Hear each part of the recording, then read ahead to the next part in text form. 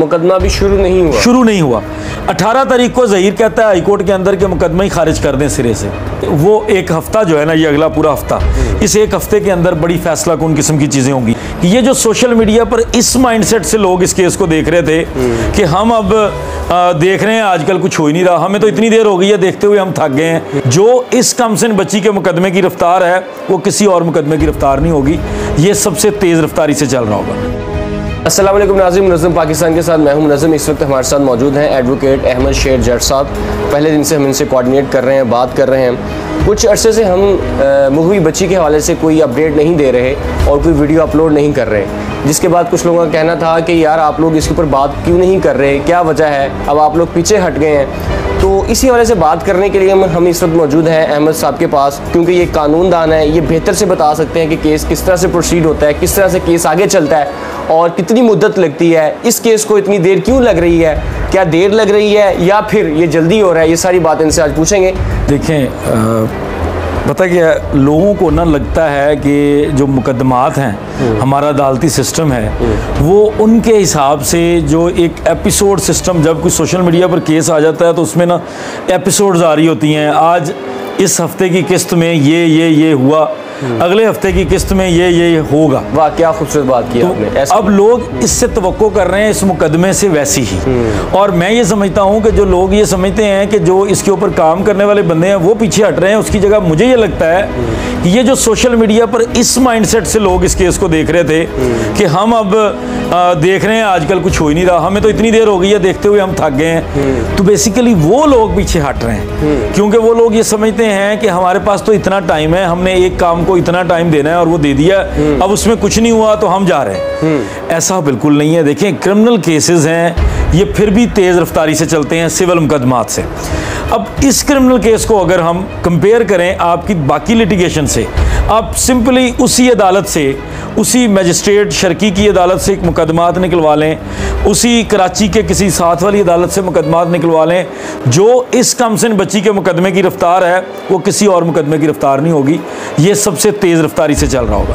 पहली चीज़ तो ये कि इसके अंदर रफ्तार का कोई इशू नहीं है, ये बिल्कुल अच्छे से चल रहा है। दूसरी चीज़ ये कि इसके अंदर बेतहाशा किस्म की चीज़ें हो रही हैं। पहले बच्ची ट्रेस नहीं होती, एक टाइम लगता है बच्ची को ट्रेस किया जाता है तीन चार सूबों की पुलिस मिलकर बच्ची को बाजियाब करवाती है, फिर हमारी सिंध हाई कोर्ट एक बयान के ऊपर बच्ची को वापस कर देती है। उसके बाद दोबारा जब बच्ची को ट्रेस करने का टाइम आता है तो अजीब अजीब तरह के खेल खेले जाते हैं। बच्ची को, बच्ची कभी मीडिया पर लाकर कुछ बयान दिलवाए जाते हैं, एक मीडिया ट्रायल शुरू कर दिया जाता है, उन सारी चीज़ों की वजह से एक देरी वाला माहौल बन जाता है। उसके बाद जो पहले दिन से मैं समझता हूँ कि इस मुकदमे के अंदर जो सीधा हुआ है ये मुकदमा, जो जो इसका पहला दिन था, जिस दिन इस मुकदमे के कुछ जो कन्फ्यूजन्स थी वो क्लियर हुई हैं, वो 21 जुलाई का दिन था। जब सिंध हाई कोर्ट ने इस बच्ची को माइनर भी कहा, इस बच्ची को अबडक्टेड भी कहा, मगविया भी कहा, और इस बच्ची को कराची के अंदर शिफ्ट करने के लिए भी कहा। उसके बाद 22 तारीख को मजिस्ट्रेट ने प्रोड्यूस करने के लिए कहा। 23 तारीख को लाहौर के मजिस्ट्रेट साहब ने यहाँ से रवाना कर दिया। उसके बाद जाकर इस केस का ये स्टेटस बना कि बच्ची अब वापस आ गई है। अब हमारे पास दो चीज़ें हैं। अगवा का मुकदमा है, एक बच्ची होनी चाहिए थी, एक मुलजम होना चाहिए था। अब हमारे पास पहले बच्ची आई बच्ची के पीछे पीछे मुलजम भागता हुआ आके कराची के अंदर अपनी ज़मानत में आ गया। ये दोनों चीज़ें अब पूरी हो गई हमारे पास कराची के अंदर। अब मुकदमे ने शुरू होना है। अब मुकदमा शुरू होने से पहले ये देखना है अच्छा, मुकदमा अभी शुरू नहीं हुआ। शुरू नहीं हुआ। अब मुकदमे को शुरू होने से पहले मुकदमे की फ़ाइल कंप्लीट होनी है। उस फ़ाइल के अंदर मुदई मुकदमा का स्टांस है कि चूँकि मेरी बच्ची और सरकार का भी स्टांस है। पहले ये पुलिस का स्टांस है फिर मुदई मुकदमा का स्टांस है। कि हमारी बच्ची क्योंकि दो तीन माह किसी के पास रही है, किसी के हाथों में रही है, चुंगल में रही है, बच्ची का मेडिकल करवाएँ। अब एक जंग उसके ऊपर चल रही है।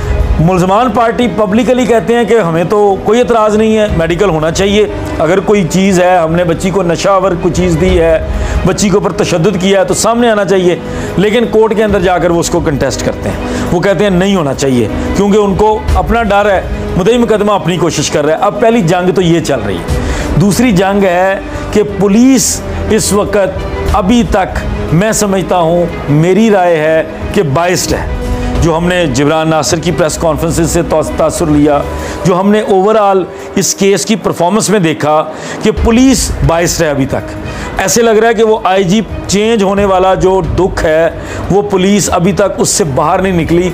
इसलिए पुलिस अपना गुस्सा हाई कोर्ट पर निकालने की बजाय जहाँ वो नहीं निकाल सकती, मुदई मुकदमा के ऊपर निकाल रही है। एक जंग पुलिस के साथ चल रही है।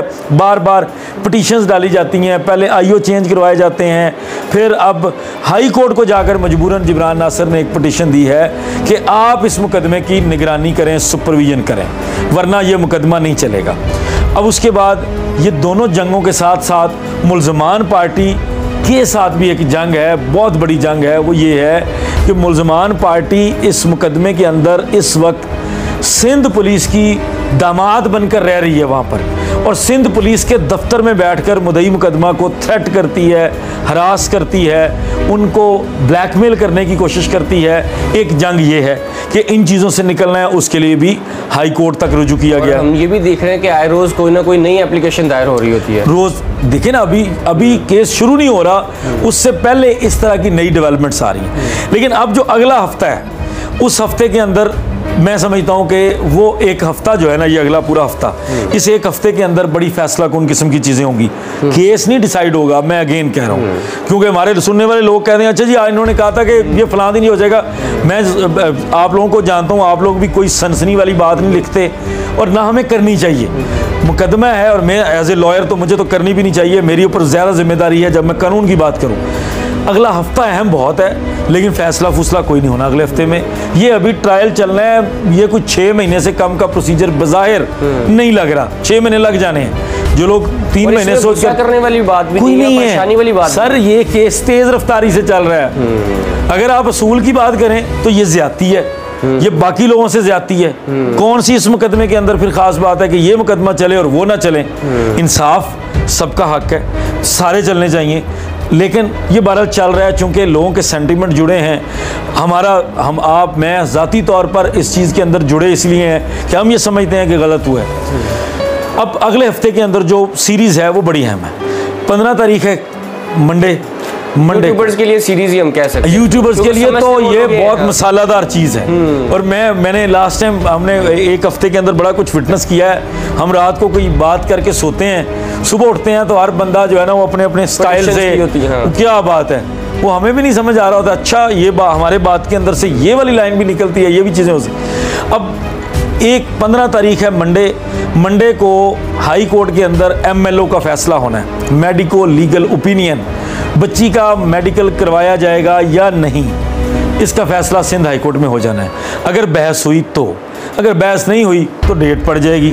रूटीन का प्रोसीजर है। अभी दूसरी तारीख है। बुध वाले दिन से सोमवार वाले दिन गया है तो ये कोई बहुत लंबी तारीख नहीं। 16 तारीख को चलान आना है, लेकिन डिपेंड करता है एमएलओ होना है कि नहीं होना।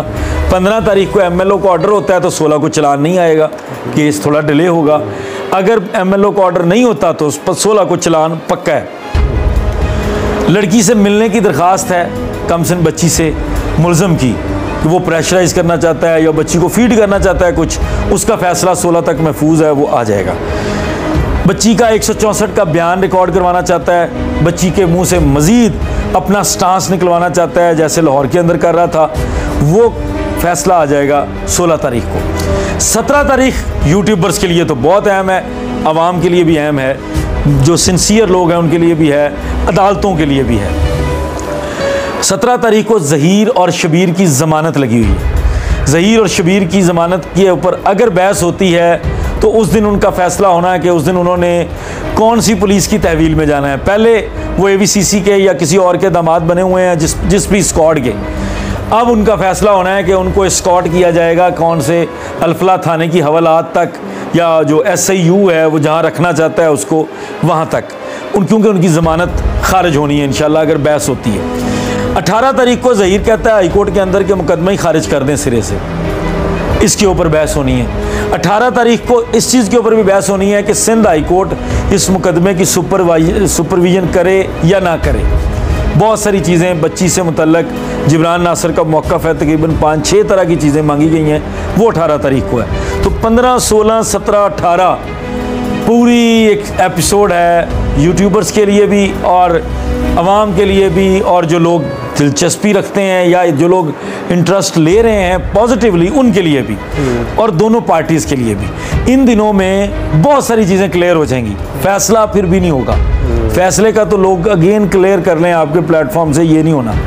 फैसले को टाइम लगना है और वो मैं समझता हूँ कि वो छः महीने छः महीने का टाइम आप एस्टिमेट अपने जेन में रखें। जिब्रान नासर मेरे साथ एक लाइव में थे, उन्होंने ये ज़िक्र किया कि जाट साहब, लोग तो अब हफ्तवार किस्त ले रहे हैं। हमारा प्रॉब्लम है कि हमने केस समझ कर लेना है। और केस चलते हैं। लो, ये जो लोग सुनने वाले हैं, जिनको इंटरेस्ट नहीं रहेगा आपने मैंने फिर भी केस को देख रहे होना है अपने एंगल से और जिब्रान नासर ने फिर भी इस मुकदमे को लड़ रहे होना है। भले इतने यूट्यूबर्स इसके ऊपर वीलॉग करें या ना करें।